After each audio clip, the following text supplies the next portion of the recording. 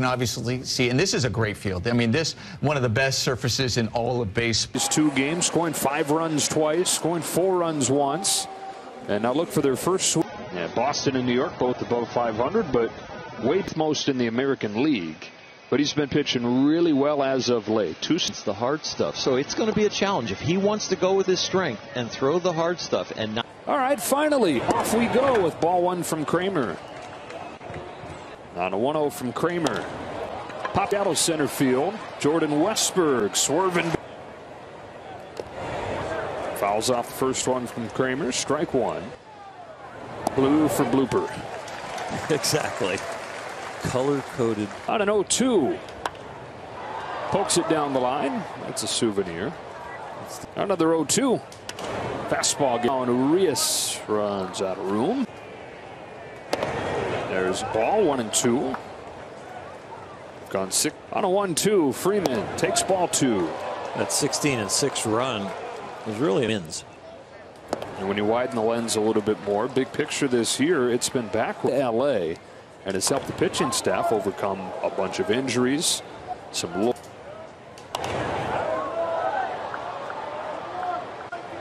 Kremer delivers. Freeman takes ball four. From 0 2 to 4. Something that, I don't know, one. Muncy pops it off the left side. Urias.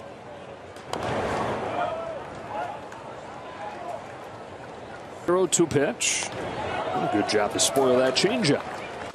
There's another 0-2, and he leaves this one upstairs. There goes Freeman. Muncy fouls it again. Bounces in there. It back. And so after a reason, but on paper, tough matchup for Kremer. Oh, and you've tries it again. A check swing and a fastball away. Full count on Muncy. He lays off and then a check swing roller up along first. If you happen to just tune in and you're wondering, okay, got here early as grounds crews do, but had taken him 10 pitches to get a verdict. 1 2 is fouled back. Leaves the high fastball up there. Poked away for Smith. Extra bases for a curve lands for a strike. Jam shot two to nothing. It's a RBI hit since Heyward now. He takes a ball. He started the scoring last night with a three run home run. 2 0. And oh. home run. And they asked Heyward about it after the game, and he said, I signed up to play winning baseball. Dave Roberts was asked in his scrum about Jason Heyward and his leadership, and he said. And he takes a changeup for strike one from Kremer. Got squeezed. Bouncing ball right side. Kremer cuts it off, takes it himself left. He falls down to sixth. And a bunch of righties at the bottom against Julio. A hit to the leadoff man. Nothing after.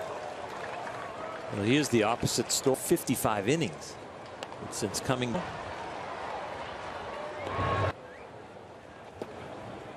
Two and one.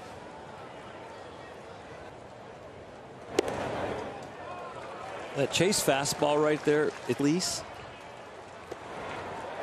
To walk in the first base runner for Baltimore. What metrics do you trust? It's a breaker for a strike on Ryan Mountcastle because they're all going to give you a little bit different. As a negative one, there is just no way that he is negative in the infield. Back to Statcast one is based off of data. You know, it's computers doing it. One two to Mountcastle is popped up out of play. And it stays the ball. Yes, coming home with a one two. The count evens two and two. Tries to lay off the breaker and does. And from 0 2 to 3 and 2 is payoff. Fastball shot to right base at Mountcastle. With runners in scoring position. It's a breaker for strike on Aaron Hicks. Yeah. Up the middle, base hit center field for Hicks. First pitch slow, second, and it's tied at two. Two on, one out. 0-2 spins away. Grounds one to second for Betts. He'll turn and go to second one with Henderson. Looks like his foot does get to the bag, but does it stay on when he's receiving the ball? First and third, two gone. That one sweeps into the zone for a strike. Urias.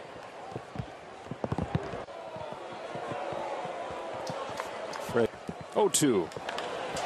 Back goes Heyward. He'll watch it hit off the wall. Mookie makes a very strong. Soap flakes in the dirt on the mound and tell his guys the seat. Down the left field line, hooking foul.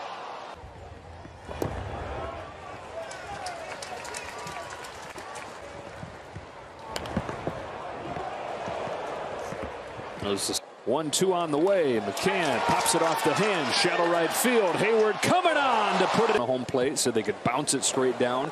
And the hop would be such that while the fielders waited for it, that's like almost shin high out there. Well manicured right field here in the big leagues these days.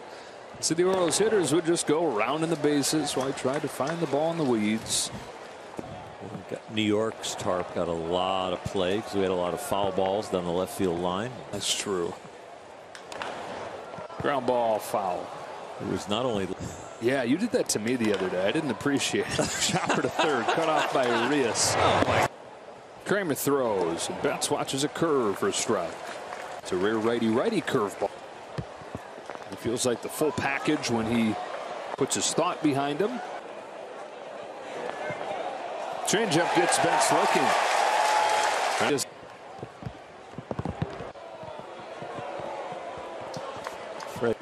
0-2. Back goes Heyward. He'll watch it hit off the wall. Mookie makes a very strong. Soap flakes in the dirt on the mound and tell his guys the seat. Down the left field line, hooking foul.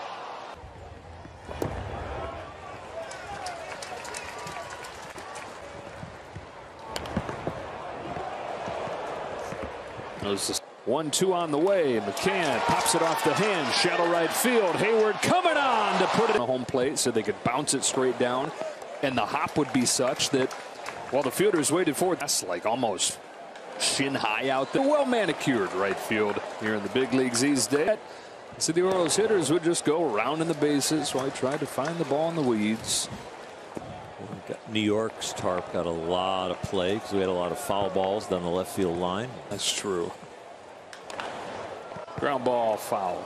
It was not only Yeah, you did that to me the other day. I didn't appreciate it. Shower to third, cut off by Urias. Kremer throws, and Betts watches a curve for a strike. It's a rear righty righty curveball. It feels like the full package when he puts his thought behind him. Changeup gets Betts looking.